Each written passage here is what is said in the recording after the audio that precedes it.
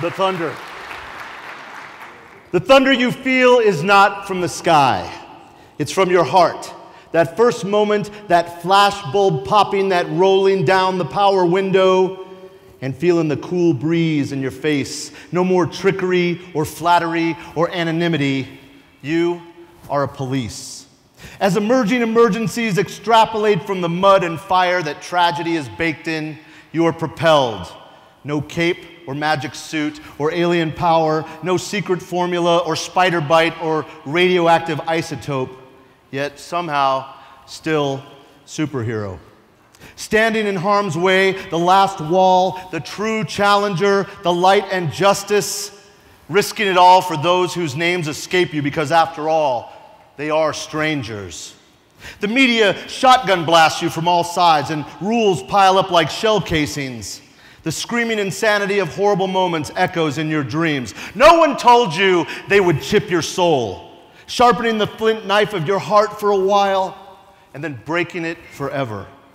No one told you about the reek and taste and permeation of the street.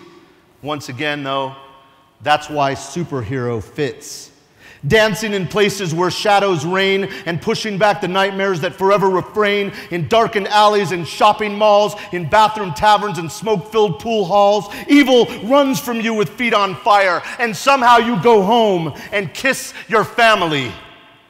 Don't ever sell short the hero in you. Don't let skepticism take any part of you. Don't let the naysayers try and rule it's not the critic that counts is true. An ode for a police is a sad and triumphant and finally joyous tale about courage and bravery and the permanency of goodness. It is the greatest souls in the world we live in, willing to lose it all in the high speed moments of fear driven adrenaline that most of the world only lives through TV creaking belt and creaking back, body broken from NFL impact, holster with the fire thrower held back as long as possible. Stick and stones do break bones, but a police would rather talk you down.